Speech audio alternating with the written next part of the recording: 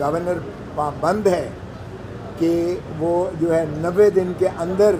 जो है इसका इलेक्शन के इनका के लिए तारीख दे, जो जो इलेक्शन कमीशन ऑफ़ पाकिस्तान उस पर लाजम अमल करके नबे दिन के अंदर उसको इलेक्शन करवाए।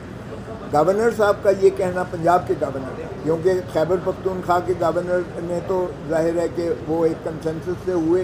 इसलिए उन्होंने तो तहलील की हद तक उनका नोटिफिकेशन की ज़रूरत नहीं थी।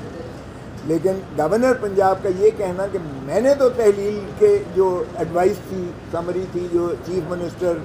चौधरी परवेज लाई साहब की, मैंने तो उस पर दस्तखत नहीं किए लिहाजा मैं क्यों कर तारीख दूँ? तो ये मैं समझता हूँ कि ये बहुत इसकी गलत तशरी की है, आर्टिकल 105 और 112 की, क्योंकि 112 में यही है जो समरी जाती है चीफ मिनिस्टर की तहलील की सूबाई असम्बली की तहलील की, वो 48 घंटे के अंदर गवर्नर, अगर गवर्नर साहब उसे पजीराई नहीं देते तो वो deemed to have been dissolved है। तो डीमिंग क्लॉज में गवर्नर साहब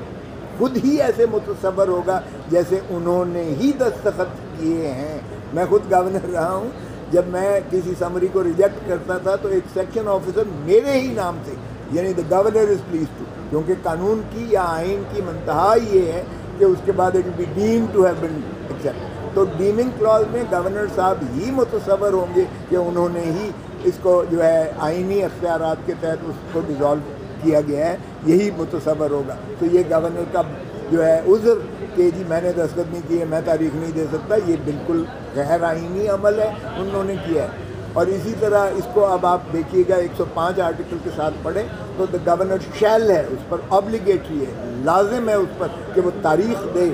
जो है इलेक्शंस की। और बल्कि तारीख इलेक्शन की वो केयर टेकर से भी पहले देने का पाबंद है, लेकिन बार कैफ केयर टेकर तो बन गए और उसके बाद नहीं तारीख और फिर इसको इक्वेट किया गया अड़तालीस दो से, यानी ये उसकी डिस्क्रिशनरी पावर है जो वो किसी और से मशावरत लेने का पाबंद नहीं है।